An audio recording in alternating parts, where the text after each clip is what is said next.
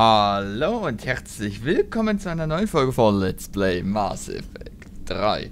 Wir haben unseren ersten Auftrag erfüllt und eine Basis der, ein Forschungslabor eher der äh, Saburs ausgeschaltet und äh, Logbuch. Ach so, ähm, genau. Und äh, das mit dem Bürgerschutz geht nicht. Da Wissen wir aber noch, wo es ist. Äh, ja, wir können jetzt weitermachen, nämlich. Genau. So. Äh. Ich wollte eigentlich nicht rechtsklicken. Wrack. Das Wrack eines Treibstoffdepots, das von feindlichen Streitkraft zerstört wurde. Aus den Trümmern kann Treibstoff geborgen werden. Das war nicht mein Ziel. So, ähm...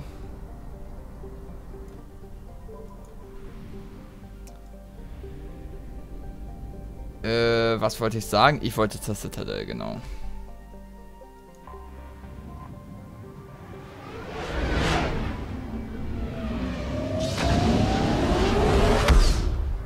Wegen dieser Medigel-Sache.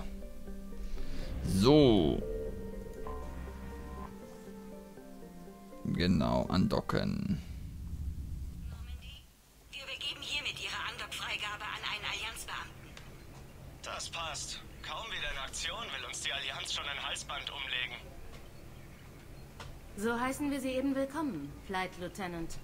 Ja, Ma'am. Erbitten Erlaubnis zum Andocken. Erlaubnis erteilt. Sollen wir ein privates Transportmittel bereitstellen? Äh, ja, zu den Krankenhäusern. Ich muss zum Krankenhaus. In Ordnung. Ich denke mal, die können da mehr mit dem Medigel Upgrade ähm, anfangen als die Botschaften. Außerdem können wir vielleicht nochmal gucken, ob wir Ash besuchen können. So. Aber erstmal gucken wir hier. Hat irgendjemand Verwendung für unser Zeugs? Gehe nämlich fast davon aus, dass das hier sein wird. Ähm.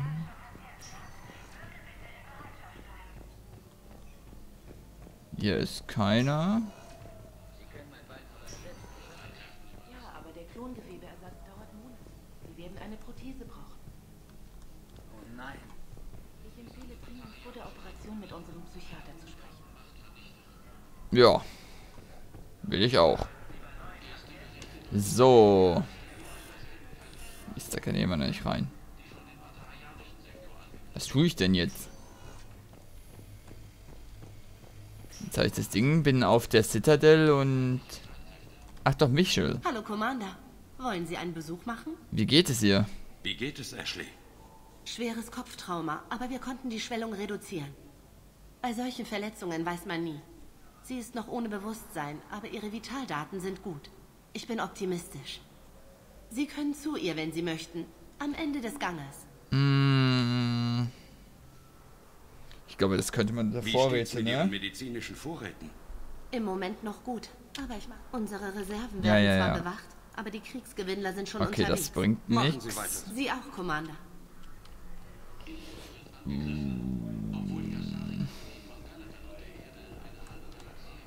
Was kann ich denn da tun? Kann ich das bei dem Shop verkaufen? Nö, Passen Sie auf sich auf. das bringt gar nichts. Wir hatten einen Einsatz auf Tiptree. Eine kleine Kolonie der Äh, bei der Evakuierung landete. Aber nur Kundschafter. Hallo, Commander Shepard. Willkommen im Huerta Krankenhaus. Der diensthabende Arzt für Menschen ist Dr. Michel. Außerdem sind Spezialisten für alle bekannten Citadel-Spezies in Bereitschaft. Bitte stellen Sie sicher, dass Sie in diesem Bereich stets die Dekontaminationsprotokolle befolgen. äh, alle Spezies? Kann hier wirklich jede Spezies behandelt und versorgt werden? Das Huerta Krankenhaus erfüllt alle Anforderungen für Multispezies-Versorgungseinrichtungen. Es gibt hier sogar Ebenen, in denen die Lebensbedingungen für andere, exotischere Spezies nachgebildet werden können. So ist zum Beispiel eine Wasserumgebung kurzfristig verfügbar. Okay. Was ist mit dem Personal? Wie kommt es mit so vielen Spezies zurecht? Alle Angestellten müssen sich regelmäßig psychologisch untersuchen lassen und Fortbildungskurse besuchen. Jo. Die Krankenhausverwaltung weiß, wie schwierig es ist, mit derart verschiedenartigen Patienten zurechtzukommen. Es ist wichtig, jedwede Unterstützung zu leisten, um den derzeitigen hohen Standard zu halten. Aha. Und äh, die Besonderheiten hier? Was gibt es hier sonst noch? Im Huerta-Krankenhaus arbeiten Fachärzte aller Spezies und viele von ihnen sind auf Xenomedizin spezialisiert. Das Haus arbeitet mit führenden Universitäten aus der ganzen Galaxie zusammen und bietet Praktika für Ärzte und Pfleger an. Durch moderne Technologie und die Unterstützung großer pharmazeutischer Unternehmen bietet das Krankenhaus den Patienten optimale Versorgung. Mhm. Der Name? Woher hat das Krankenhaus seinen Namen? Es ist nach Präsident Huerta von den Vereinigten Staaten von Nordamerika auf der Erde benannt. Der Spender, der sich diese Ehrung gewünscht hat, möchte anonym bleiben. Na Danke. dann. Wenn Sie weitere Hilfe benötigen, wenden Sie sich bitte wieder an mich. Huerta. Sagt mir gerade gar nichts, ne? Kommt mir gerade ein bisschen peinlich vor. Also, ähm. Ich kann echt nicht. Nichts damit anfangen. Äh, nee, warte, hier ist ja noch was. Aber ich glaube, da war ich schon drin, ne? Logbuch. Finden Sie jemanden auf der Zitadelle, der Verwendung dafür hat? Ja, das ist schade eigentlich. Hm. Äh.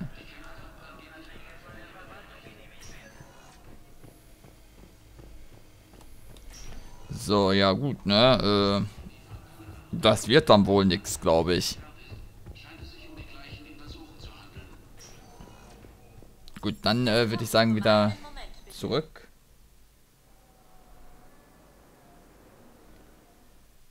Äh, hä? In Anderbucht D24. So. Geht's jetzt zur Normandy? Ja, ne? Richtig, hier geht's zur Normandy zurück, das ist gut.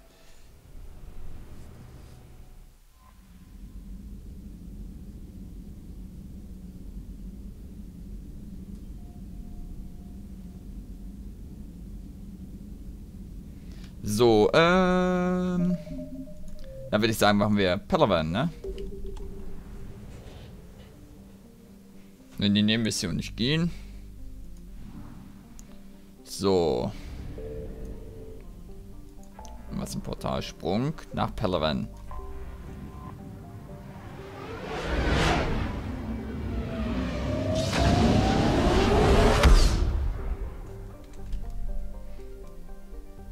So, da sind wir angekommen.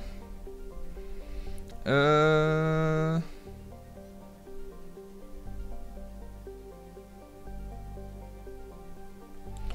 Und gucken mal, was es hier so gibt.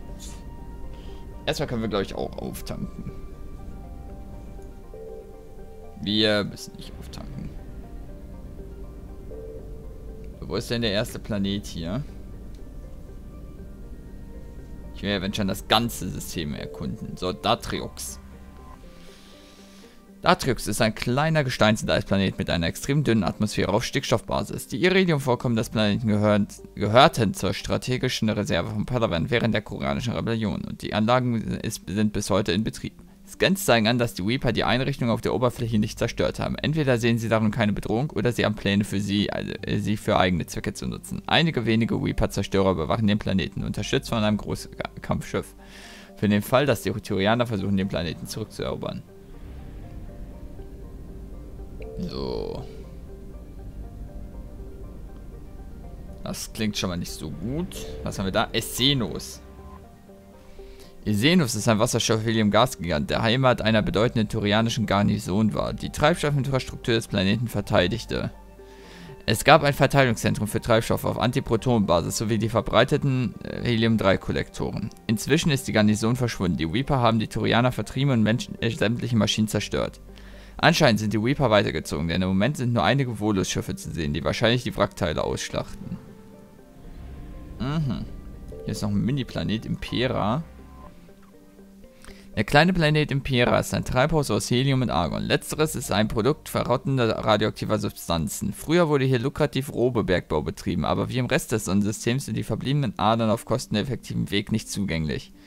Der Planet ist nach Adrien Impera benannt, der turianischen Machiavelli, des, deren ehrgeizige politische Philosophie zu ihrer mehr als zehn Jahre währenden Regentschaft über das Kontinent umspannende Nialinreich führte.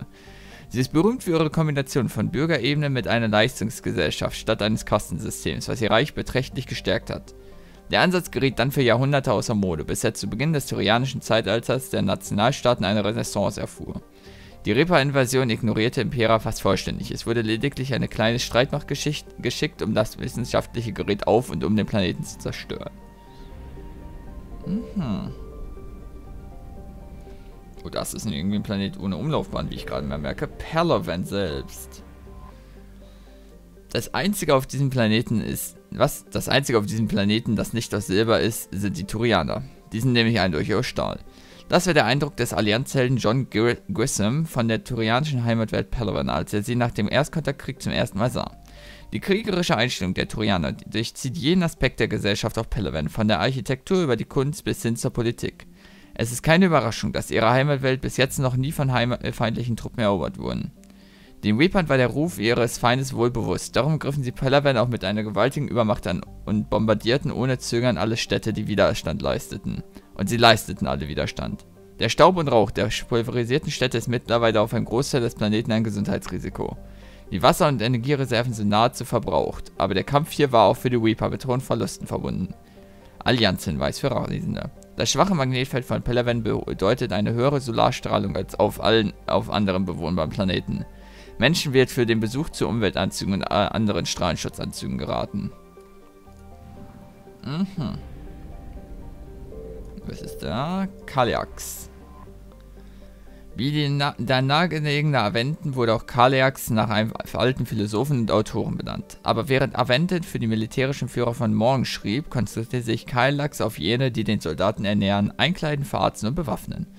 Ihr Hauptwerk Dienstleistung enthält ein langes Kapitel über die Gesetze, die die Basis des turianischen Konzepts der Bürgerebenen bilden. Kaliax ist kälter als Aventen und darum wurden seine... Das war mein Backofen. Minerale auch zuerst abgebaut. Die turianischen Verteidigungen auf Kaliak, äh, sind nicht vollständig zerstört, was ungewöhnlich ist. Möglicherweise haben Reste der versprengten turianischen Flotten den Planeten als Deckung genutzt und die Reaper-Zerstörer, äh, die auf Satellitenjagd waren, vernichtet, bevor ihre Mission abgeschlossen war. Wahrscheinlicher ist allerdings, dass die Zerstörer die Verteidigung aus dem Orbit gehackt haben und die unbemannten Drohnen jetzt ihren Befehlen folgen. Na, wunderbar. Sind die zwei Planeten? Das sieht so aus wie eine Doppelumlaufbahn.